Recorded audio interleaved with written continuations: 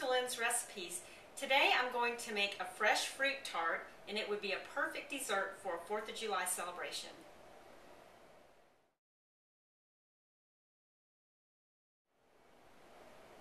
The amounts of the ingredients that you're going to need for this recipe will be listed in the information box below or you can find it on my website. The ingredients are for the crust, you'll need butter, all-purpose flour, and confectioner's sugar. For the filling, you'll need granulated sugar, cream cheese, and vanilla. For the fresh fruit, I have sliced strawberries, sliced kiwi, I have blueberries, and raspberries. And for the glaze, you'll need some limeade, and you'll find that in your freezer section, and this is what it looks like. You won't need this whole can, but you'll defrost it. You'll need fresh lime juice, cornstarch, and granulated sugar. You'll need to preheat your oven to 350 degrees, and you're also going to need a 12-inch tart pan with a removable bottom. I'm going to start by making my crust in my food processor. I've already put my butter in, and now I'm going to add my flour and the confectioner's sugar. I'm going to put the top on. And I'm going to mix this together until it forms a ball.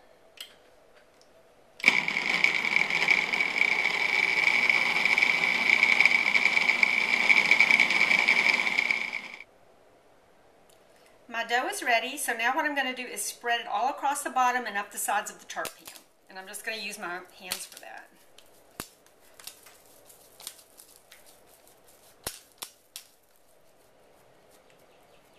Okay, I have spread my crust out evenly in my tart pan and up the sides, and now I'm going to put it in my 350 degree oven for 10 to 12 minutes so it can brown. My crust is done. It baked in the oven for 12 minutes, and now I have it on a cooling rack so that it can cool. Now I'm ready to make the filling. So what we're going to do is I have my cream cheese in a bowl. I'm going to add my sugar and my vanilla, and we're just going to beat with my mixer here.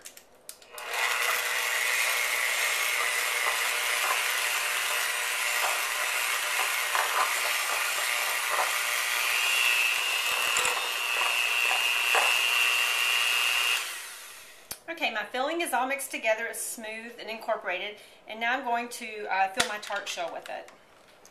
So, I'm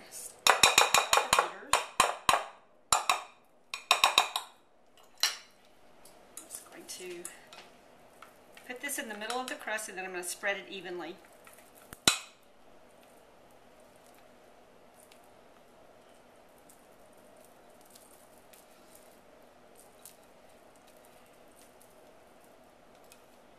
Okay, aside.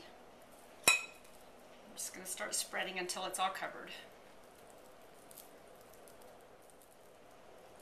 Okay, so my filling is all over the crust, and so now it's time to put the fruit on top.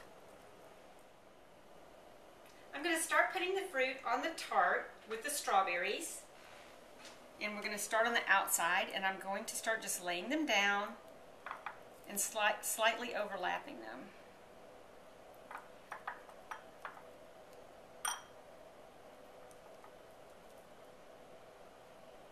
I'm just going to continue all the way around.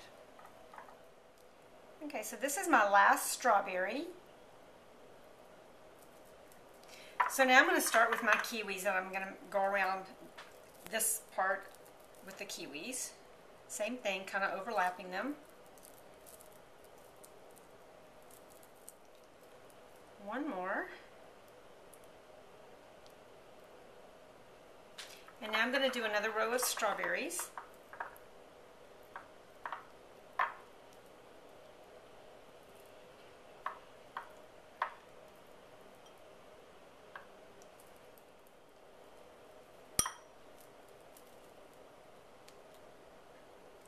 Okay, so that's for done with the strawberries. And so now I'm just going to kind of scatter some of these blueberries just around to fill in where maybe some of the filling's showing.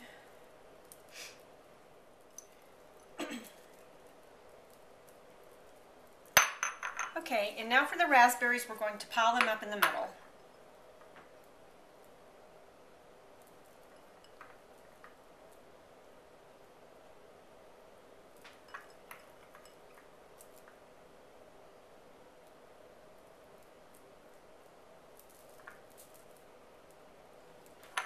Okay, so that looks good. So now what I'm going to do is make the glaze.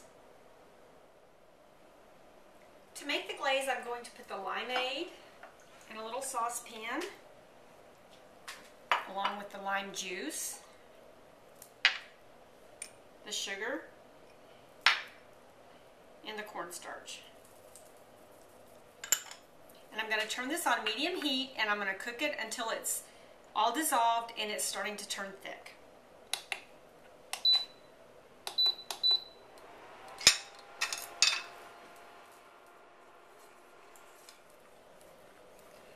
Glaze is done, so I'm going to take this off the heat and let it cool before we put it on our tart. My glaze has cooled, so now what I'm going to do is take this little pastry brush and I'm going to just start glazing my fruit. It's going to give it a nice shiny coating and add flavor.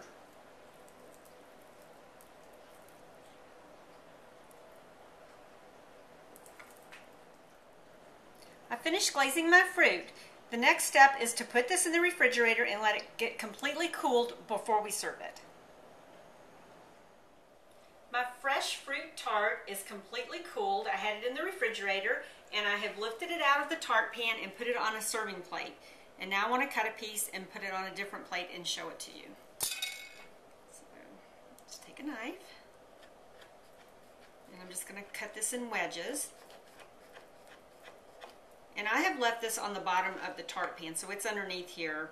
You can try to take it off, but it's I find it easier just to leave it on there.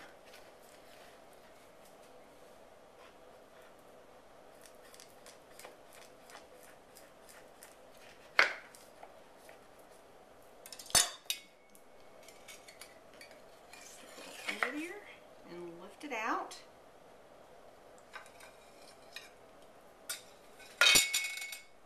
And here it is. This is a fresh fruit tart. I hope you enjoy it.